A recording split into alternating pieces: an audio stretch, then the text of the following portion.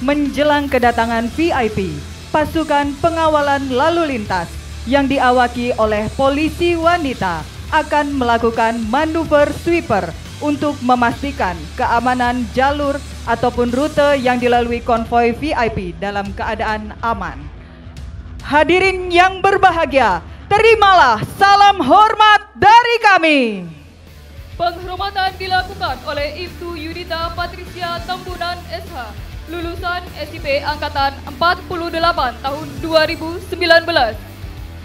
Saat ini 20 personil polisi wanita di bawah bimbingan Bapak Dirlantas Polda Metro Jaya, Kombes Pol Dr. Latif Usman SIK Mhum dengan menggunakan 20 unit motor listrik Zero yang merupakan kendaraan roda 2 terbaru dari Korps Lalu Lintas Polri berkapasitas 15.000 watt dengan jarak tempuh 249 km.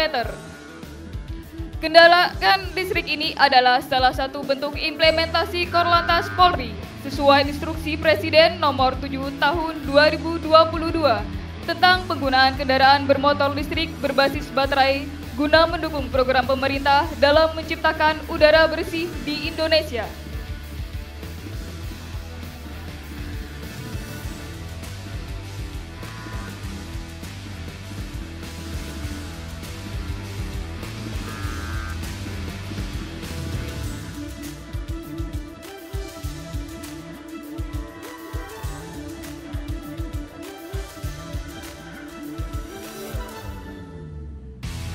Selanjutnya, tim patroli BRIMOB mendapatkan informasi bahwa telah terjadi balapan liar di seputaran jalur yang akan dilalui rangkaian VIP.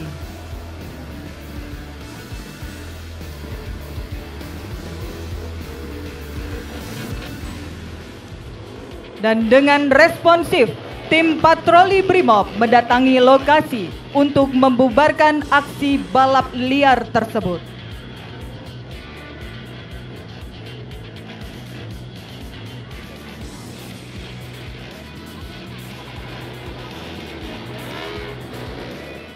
Download Tribun X sekarang.